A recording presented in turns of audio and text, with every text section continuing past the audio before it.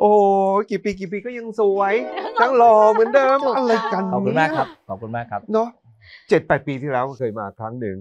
เจ็ดปีความรักความหวานอืมลดลงบ้างไหมคะ มีอยากจะเพิ่มขึ้นเฮ้ยอ่าคือผมมีความรู้สึกว่าถ้าเรารักด้วยความตั้งใจเนี่ยเราตั้งใจรัก เรารู้สึกว่าเอ้ยผู้หญิงคนเนี้ย เราจะทำให้เขารู้สึกเป็นคนที่โชคดี ทุก ๆ ปี ทุก ๆ ปี ให้เขารู้สึกปลอดภัยขึ้น มีความสุขขึ้นมากขึ้นทุกปี ทุกปีอันนี้เป็นสาเหตุทำไมถึง ถึงมีความรักมากขึ้นหวานมากขึ้นทุกปีครับพาไปเที่ยวตลอดพาไปเที่ยวเที่ตยวลอดตลอดทุกปีละหลายๆเทศกาลครั้งนะฮะทุกใช่เทครับศกาลทุกเทศกาลอันนี้ก็อะไรวานะเลนไทน์ล่าสุดค่ะเอ่อวาเลนไทน์ก็ไปมีทานดอกอาไม้หารกันตลอด ใช่ครับ เจ็ดปีที่ผ่านมาดอกไม้มีพร่องสักปีไหมคะ ไม่มีเลยค่ะ มาทุกปีแม้กระทั่งบางปีเขาอยู่ต่างประเทศนะคะ ต้องไปเล่นคอนเสิร์ต ดอกไม้ก็ยังถึงนะคะยังถึงใช่ค่ะมีคำหนึ่งสุดยอดที่เขาบอกว่ายังคงรักษาความเป็นแฟนโซน อืมถูกต้องครับ จริงๆค่ะจริงๆ ไม่ใช่เมียโซน อ่าใช่ใช่ใช่สำคัญมาก เป็นแฟนโซนค่ะคือสำคัญมาก เขาเรียกอะไร feel แฟน อ่า feel แฟนยัง feel แฟนอยู่ ถูกต้องครับเออยังไงคะแต่เราแต่แต่แต่งงานกันมีลูกแล้วนะคะใช่ค่ะ ถูกต้องครับคำว่าแฟนเนี่ยคือมันต้องมีอารมณ์แบบจีบกันอืมอ่ามันต้องมีความอ้อนมีชุ่มชื่นหัวใจค่ะนะครับต้องหาเรื่องให้ชุ่มชื่นหัวใจอยู่ตลอดเวลาเออนะครับไม่ว่าจะเป็นการทำเซอร์ไพรส์กันบ้าง หรือว่าชวนไปดูหนังอะไรอย่างเงี้ยค่ะอืมก็ยังมีแบบนั้นอืม dinner surprise อะไรอย่างเงี้ยค่ะ ทั้งทั้งๆที่เราเรารู้อยู่แล้วว่าสิ่งที่จะเซอร์ไพรส์คืออะไร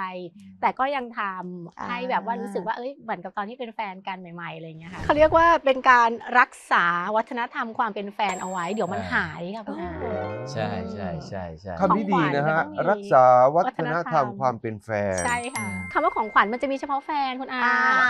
ภรรยานี่แทบจะไม่มีว่าของของขวัญเลยเพราะเงินมันกระเป๋าเดียวกันอืมอ่าแต่พอแบบวาเลนไทน์แอนนิว r ร์ a รีวันมั่นวันจดทะเบียนหนูมีทุกวันไม่ไม่สามไม่ใช่ว่านับเป็นวันวันแต่งงานอย่างเดียวนะคะอืมวันขอแต่งงานวันมั่นวันจดทะเบียน วันเข้าพระราชทานน้ำสังแยกหมด โอ้โหต้องแยกใช่ให้หนึ่งอีกหนึ่งอย่างคือเขาต้องจำให้ได้ค่ะ เขาต้องจำให้ได้ว่าอะไรวันไหนวันไหนหนูจะทบทวนให้เขาทุกปี ของขวัญไม่ต้องใหญ่เล็ก ๆ น้อยๆต่างหูอะไรหน่อยๆก็พอใจแล้วค่ะใช่อะไรก็ได้แต่ว่าต้องอืมอืมาทุกทุกเอาเล็กเอาเอาอ่าเอามาทุกหมดทุกไม่อีมีเวนต์ปีหนึ่งมี3 6 5วัน เข้าเซอร์ไพรส์ไปแล้ว 300 วันสำหรับหนึ่งปี300วัน แล้วจริงไหมอีไอ้อย่างที่แพทย์พูดตะกี้เนี่ย บอกว่าครับแตะเอียทีหนึ่งเป็นล้านเป็นล้านเลยเหรอเจมส์เอ่อก็ เก้าเก้าเก้าเก้าเก้าครับไม่ดีอ่าค่ะเก้าทุกปีเหรอคะก็ทุกปีก็ต้องให้เพิ่มขึ้นเรื่อยๆด้วยนะปีแรกให้เท่าไหร่แต่เอียปีแรกตั้งตั้งแต่เป็นภรรยากันเอ่อปีแรกรู้สึกจะไม่ได้ให้ด้วยนะไม่ไม่เออมีรู้สึกอ่าปีแรกจะเป็นแนวแตะอังอะไรอย่างเงี้ยอ่าได้แล้วก็หลังๆก็เริ่มแบบแตะเอียอันนี้ตบหลังๆก็เลยเป็นแตะเอียอ่าคือคือคือความรู้สึกของผมเนี่ย ผมมีคนที่มีความเชื่ออย่างหนึ่งว่า เงินเนี่ยจะไม่มีความหมายเลยนะ ถ้าเราไม่ได้ใช้กับคนที่เรารัก อืมเอออืมอะไรกันจะคมทุกคำนะครับออเพราะฉะนั้นเนี่ยผมก็เลยมีความรู้สึกว่าเราเป็นผู้ชายเรามีความภาคภูมิใจที่ได้ออกไปทำงานข้างนอก แล้วกลับมาแล้วขอสิ่งนี้มาให้กับคนที่เรารักมากที่สุดอื้อหือมันเป็นความมันเป็นความสุขนอกจากการได้ใช้เงินนะครับอืมคือความสุขของการได้ให้เมียโว้ยอ่าเก้าแสนนี่เก้าหมื่สวัสดีนเก้าพันเก้าร้อยเก้าสิบเก้าสิบเก้าเก้าเก้าสิบเก้าค่ะ อีกนิดเดียวอีกบาทเดียว อีกบาทเดียว อีกบาทแต่ต้องการให้เลขสวยเลขสวยต้องการให้เลขสวยนะฮะยอดที่สุดยอด อันนี้แตะเอียค่ะครับพอมาถึงอีกหนึ่งเทศกาลวันเกิดอืมวันเกิดนี่เห็นบอกว่า ให้ที่ดิน 40 ล้าน แค่เปรยนะครับท่านผู้ชม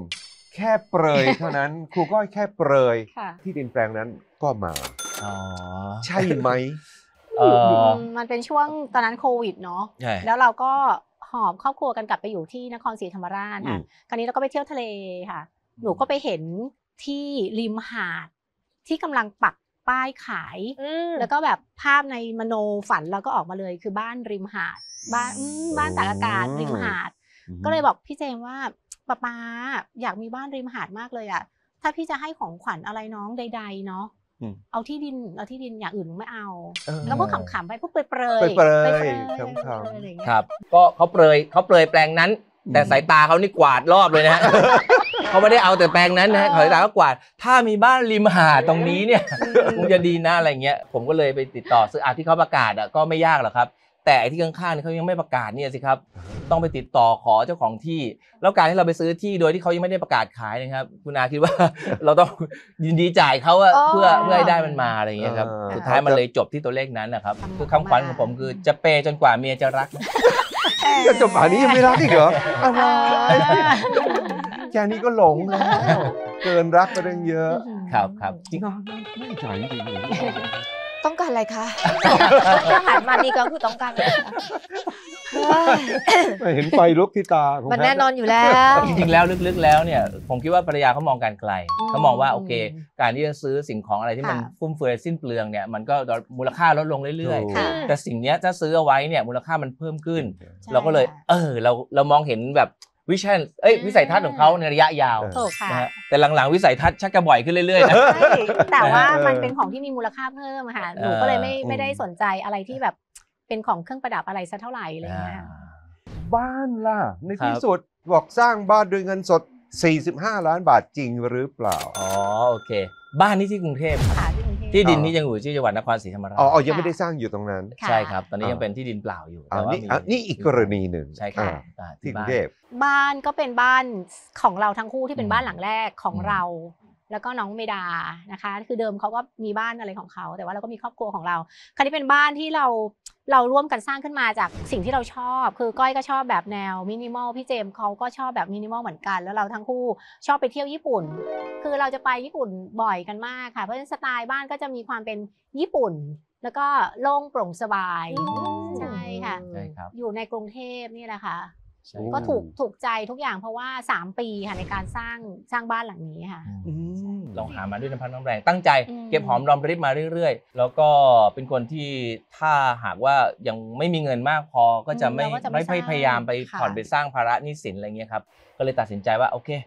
สดเลยแล้วกันอะไรเงี้ยอืมครับผมแล้วเขาเป็นคนไม่ครับไม่ฟุ่มเฟือยเลยค่ะ นี่คือนิสัยอืมของเขาพี่เจมส์เนี่ยคือไม่มีอะไรเลยถ้าถ้าไม่ออกรายการทีวีคือรองเท้าแตะเสื้อยืด กางเกงขาสั้นเลยเปรมเมียหมด นาฬิกานาฬิกาหรูอะไรเขาก็ไม่มีเลยนะคะเขาใส่นาฬิกาออกกำลังกายธรรมดาเมียเอาไปหมดเลยเนี่ยจริงๆแล้วจริงๆแล้วเนี่ยผมบอกว่าถ้าหากว่าเราตั้งใจทำงานทำมาหากินที่ดีแล้วเนี่ยเรื่องของการรู้จักที่จะเก็บมันแล้วต่อยอดนะครับมีความรู้ด้วยเรื่องของการบริหารการเงินเนี่ยอันนี้ก็เป็นสิ่งที่สำคัญที่ทำให้ผมมีวันนี้นะครับใช่ครับอ่า